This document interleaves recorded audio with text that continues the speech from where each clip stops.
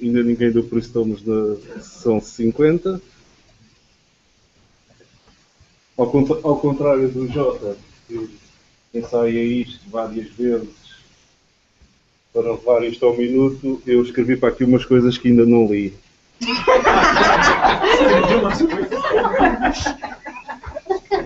Espera, espera. Imaginem esta carantonha, acho que sou sempre eu, ainda ninguém teve o mau gosto de copiar. No Twitter, se precisarem de alguma coisa, o primeiro link é o do site Não Vão Lá, que não é mexido há uns, há uns anos. Todos nós. Este blog já não existe no site, já não ponho aquilo do gasto. Estes não são mexidos há tempo. Temos artigos da revista Programar, geralmente acerca, acerca de C Sharp. E está ali o do SlideShare, onde eu costumo pôr os, pôr os, os slides. Quem é que aqui está a usar o 5, a 8?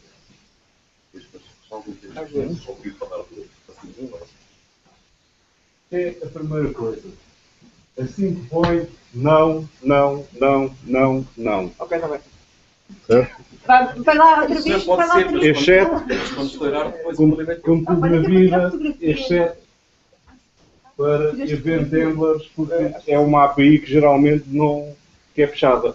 Portanto, é um método devolve void, tem uns parâmetros e não há maneira de, não há maneira de devolver a task que corresponda àquilo. Mas, fora isso, não inventem. O, o próprio- os próprios event handlers normalmente têm UI cliente quando é para fazer coisas demoradas que, vari- que levam à utilização do async, são coisas que normalmente se usava a thread pool ou o que quer que seja, portanto, todo o tipo de controles que é usado, bloquear a UI, para voltar mais tarde a desabilitar a habilitar e por aí fora, tem que ter esses cuidados, mas é a única situação em que não há maneira de fugir ao async void. Fora isso, não.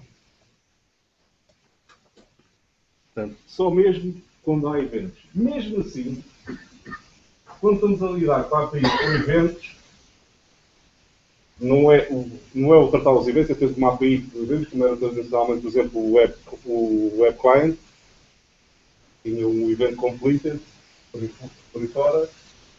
Existe uma, uma classe que é o Task Completion Source, que é usada para criar uma task, faz a gestão de- da operação que estamos a fazer. No- no- normalmente no Event Handler faz-se o set ao resultado ou à exceção se ocorrer. Eu não vou mostrar quando não, não há tempo.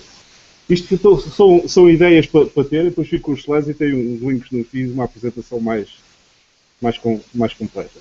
Que não usa só no QA. Aquela pérola. Olha, por acaso não fiz assim. Pois, mas diz por. É que. Quando vamos usar a 5 a 8, geralmente são as duas questões que se põem. Ou estamos a lidar com algo que é computacionalmente intensivo, ou algo que é input output. Se é computacionalmente intensivo, poderá ter que se equacionar se vamos paralelizar através do paralelo each, por exemplo, ou chamar o task run vai fazer com que eh, o código que vamos passar vai correr normalmente no thread pool. Quando é, quando é AL, as coisas funcionam de outra maneira, normalmente é gerido pelo sistema operativo, não há um novo thread, não há nada. Quando acaba, o próprio sistema operativo põe, põe aquilo a correr num thread qualquer e estamos de volta. Não mentir. Isto quer dizer, temos uma API síncrona, ela é síncrona e não vamos pôr um task run naquilo só para parecer assíncrona. E se ela é assíncrona, não vamos pôr wait, result, get awaited e coisas do género para. Isto é um aspecto que tem normalmente uma operação assíncrona. Temos aqui um, um método normalíssimo. Assíncrona normalmente tem este aspecto. Envolve uma que é onde vamos obter o resultado. Outros sítios chamam futures, promise, o que, o que for.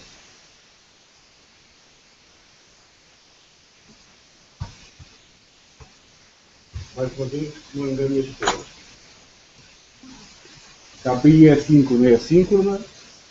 Quem está a chamar, se acha que deve usá-la sincronamente, é a sua responsabilidade. Se a API é síncrona e alguém achar que deve fazer um task run, está por sua conta e risco. Quem está a fazer código para os outros usuários não deve fazer nada que não seja expectável. Ou seja, as bibliotecas não devem usar o task run, que é a forma de fazer assincronamente alguma coisa que era síncrona. Se uma biblioteca qualquer faz o que quer que seja, demora uns milissegundos ou três dias, não interessa o tempo que demora, quem chama é que tem que tomar a decisão de fazer aquilo ou não.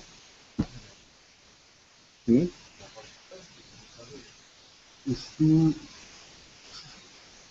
não pode caso do No caso de servidor, no caso de servidor, normalmente, vamos dizer, a SPNet, o IS até ao 6, se não me engano, tinha uma thread pool de entrada e depois os pedidos iam ser servidos e normalmente usavas a thread pool do até a partir daí. A partir do IS7 só tens uma thread pool. É mesmo. Ou seja, quando usas task run, estás a dizer, olha, espera aí, eu vou mandar isto correr naquele thread, que é igualzinho a este, e o que eu vou fazer é uma mudança de contexto. Portanto, não vai correr mais pressa, não vai, vai gastar mais recursos, é uma ilusão.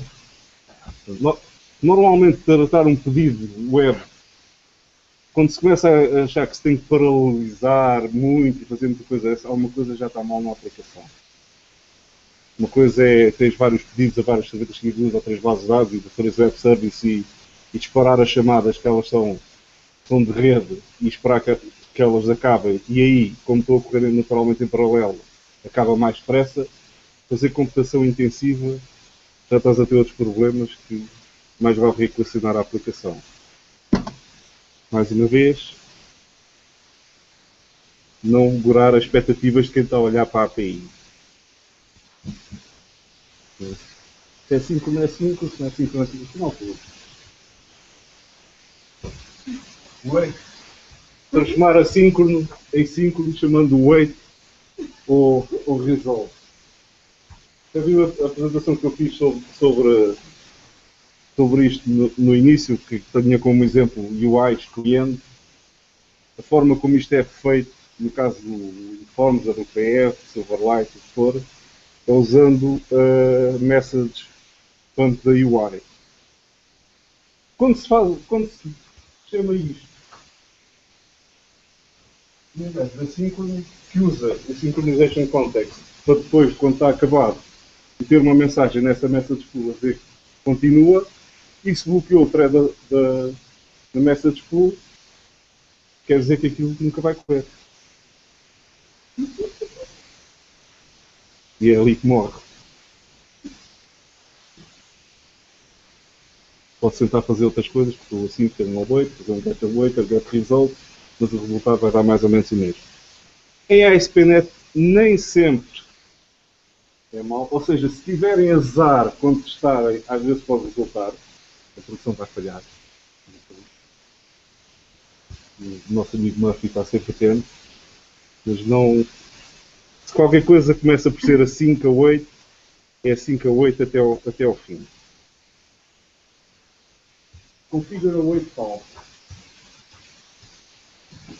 Isto é uma maneira tudo, tudo, todo, todo a máquina de estados que, a, que o compilador gera está baseada em Synchronization Context. Ao chamar o configura 8 false, está a informar que quando aquela task acabar, não voltar, portanto, não fazer o post para, para o Synchronization Context. E a recomendação é que as bibliotecas usem isso. Que é para, mais no caso de, de UIs clientes, tens uma biblioteca que faz várias coisas, ou, ou estás a fazer um qualquer, vai buscar, chamar um web service. E a seguir está a processar os dados. E uma vez que ele já saiu do thread UI, já agora, quando está a processar esses dados, fica fora também. Portanto, se fizer a chamada com configura 8 false, ele não volta para a thread UI, a seguir, na linha a seguir, mas quando sair, aquele método é uma outra task e do outro lado vai voltar para. para mas, depois fica. Fica sei o que é que faz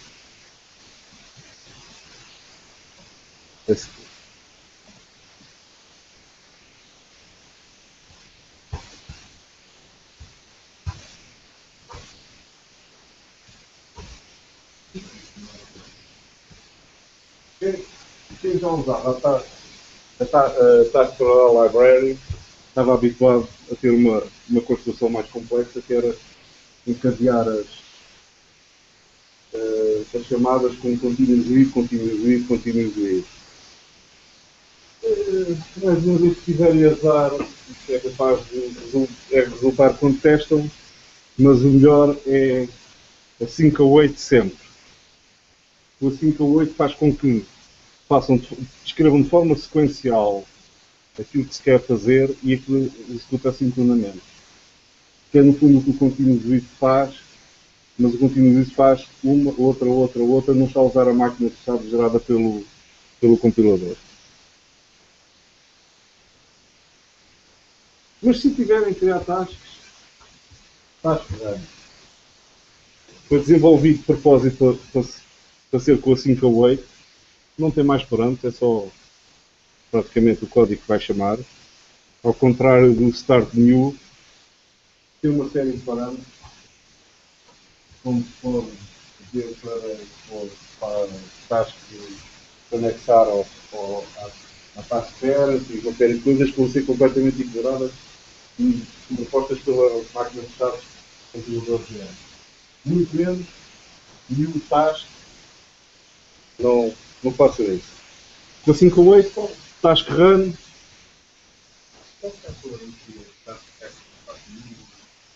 Está certo que faz isso, uma série de coisas, long run e por aí fora. Algumas não funcionam com as 5 ou 8, outras, é o que o código que o compilador gera vai se pôr aqui. Não, estás a escrever e não vai acontecer aquilo que estavas à espera. Cancellation Token é a forma de cancelar. Ainda antes de fazer a fusão 8, que é usado para passar, é o, clássico Cancellation Token, o Cancellation Token que já existe palavras para fixar, e é a forma que se deve usar para se expor uma API que é cancelável, ou que quer cancelado. Eu tenho cancellation token. Posso. Vais parar uma coisa, logo a para que tirar para uma thread que é thread abort. A mesma coisa que faz. O cancellation token não faz. O thread abort, sim, é isso que queria A única coisa que o cancellation token faz é orquestrar cancelamento. Certo. Tu registras o que é que queres fazer, registras em cadeias os tokens e é um token que tu vais passando à frente. Quando, quando alguém que o token quer cancelar a operação, cancela. Quem está a usar deve, deve olhar para ela, primeiro fazer throw if cancel, uma coisa com o nome comprido, e é a maneira que deve ser usada para, para gerir isto. E se estás a chamar alguma coisa que recebe um cancellation token, na tua API deve expor também um método que recebe um cancellation token. Deves passar lá à frente. Não, escondê-los porque um, um, dos exemplos é o próprio compilador Rosman. Paras, compilou o código para ver se está tudo em ordem com os analyzers todos. Queres qualquer coisa, paras uns segundos e ele vai compilar outra vez, tem os analyzers dele, tem os analyzers todos que lá tens, e se tu começas a escrever outra vez, já mudaste o código e aquele código que ele está a compilar já não vale nada. Portanto, manda um, um cancel, toda a gente tem o cancellation token, cancel e toda a gente sabe que tem que parar, escusa estar a perder tempo. E pensar contigo, então, se falar de chamar gente, eu. Disse toda a gente. Ah, já foi bastante.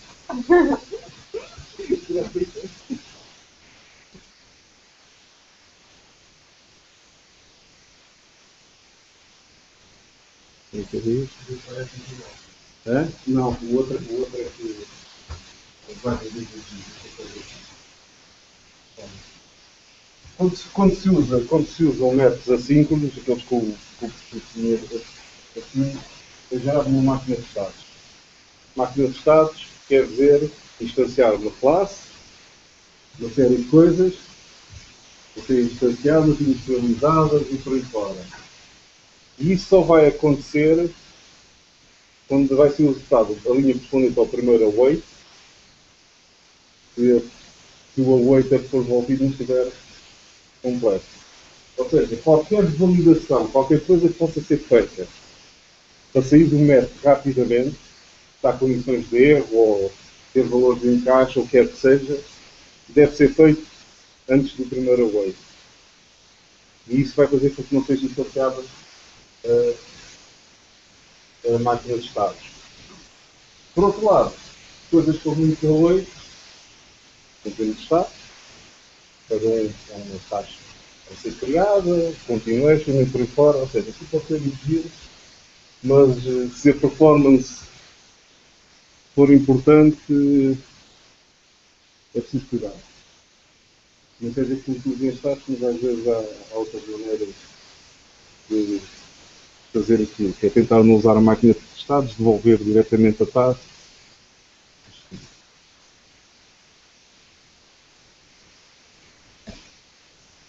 Questões?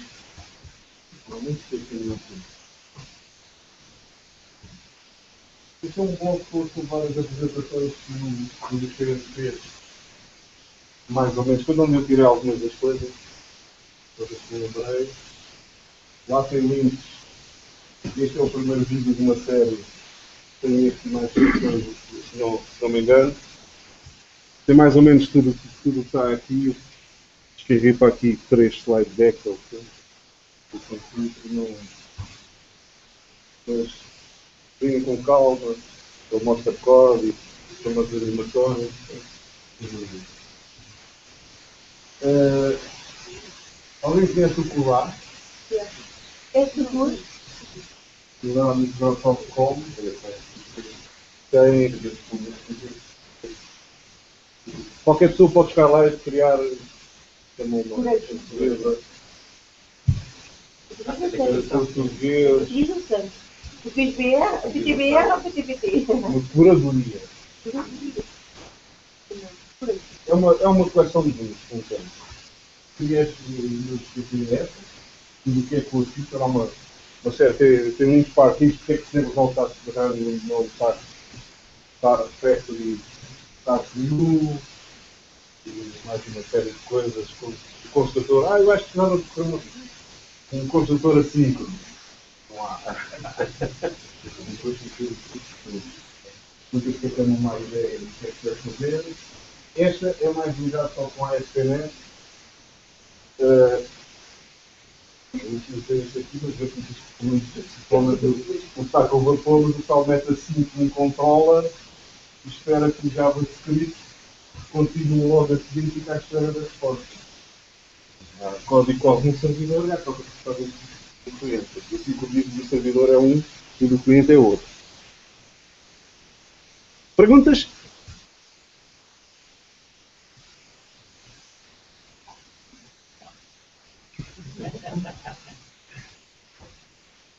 Hoje outra.